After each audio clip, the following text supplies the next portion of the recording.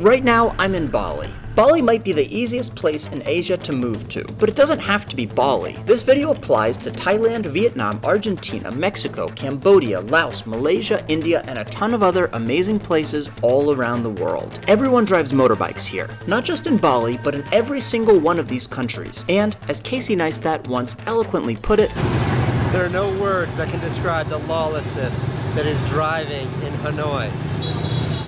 Motorbikes are dangerous, so be careful. But stagnation is also dangerous, so don't be too careful. First off, most people speak English. Secondly, fast Wi Fi is easy to find. Okay, now that's out of the way, let's talk food.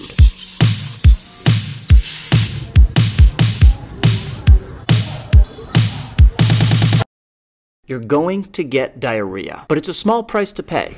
Literally. It's literally a small price to pay because the food here is super cheap.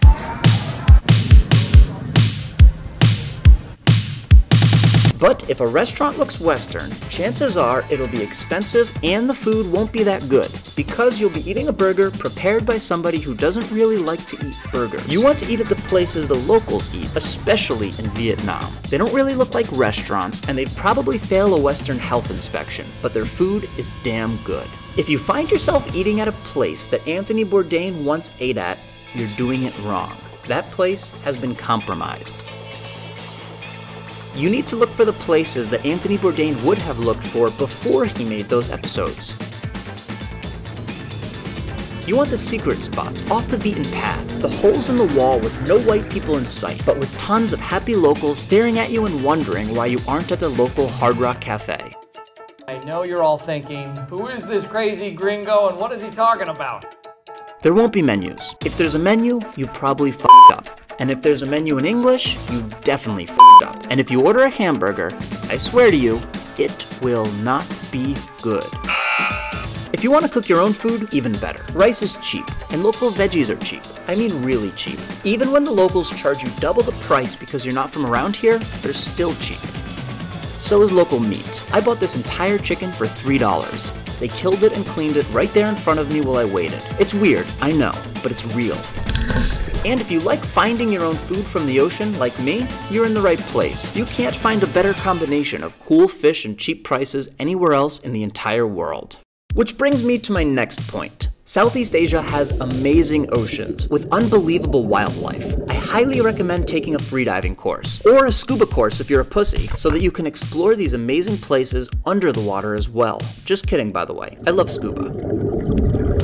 Anyways, I see dolphins, sharks, turtles, and all kinds of awesome fish on a regular basis. In fact, I see these animals much more often than I see Trump or Biden in the news. What a life.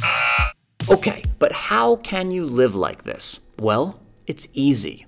All you have to do is have a rich dad set up a trust fund for you worth millions of dollars. Just kidding. There are tons of ways that you can live like this, and it's getting easier to do every single day. Let's start this next part with a quote from Tim Ferriss. Fun things happen when you earn in dollars, live on pesos, and compensate in rupees. With more and more people working online than ever before, places like this are going to blow up, more than they already have.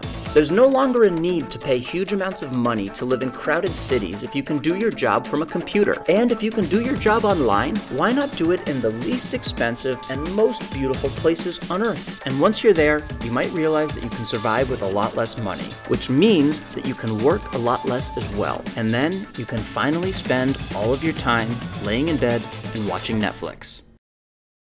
Just kidding. Well, technically you can, but I don't recommend it. You can write that novel, start that business, learn that language, learn that instrument, create those beats, learn to code, learn to freedive, scuba dive, skydive, or surf. Or, in my case, learn to edit videos. You can be a waiter for two months in the US, work your ass off, save some money, and then spend the other 10 months abroad doing whatever it is you would be doing if you had a million dollars in your bank account. The only difference is you won't be flying first class. Or you can be a freedive instructor like me, or a scuba instructor, or an English teacher, or a surf instructor, or a million other things. The point of this video isn't to give specific job ideas. The point is that there are ways to live differently. This is the only time in the history of the world that large numbers of people can earn in one currency while simultaneously living off of another currency. Even just 15 years ago, this wasn't really possible for most people, let alone 150 or 1500 years ago. We're super lucky. The amount of information and resources that we have at our fingertips is amazing. Yeah, people can get addicted to their phones, and there's online trolls and fake news, but the news has always been fake, and now people can learn literally anything for free online. History books talk about the Renaissance as this amazing time for art and science, but looking back in a few centuries, that will pale in comparison to what we have today. It's not all perfect though. You won't see your friends and family back home as much, and a lot of them won't understand what you're doing. Another big downside is career growth, or lack thereof. Being a freedive instructor is super cool, but there's not much room for advancing in your career, as opposed to something like real estate or finance. Climbing the corporate ladder is a real thing, but not in Southeast Asia. On the other hand, you might build a successful business while you're abroad with all that newfound free time. Or you might get in a motorbike accident and break both your legs. Just so you know, these ideas could all be bullshit, and I could be making this movie just to try to justify my weird life choices. I guess I'll find out in 20 years.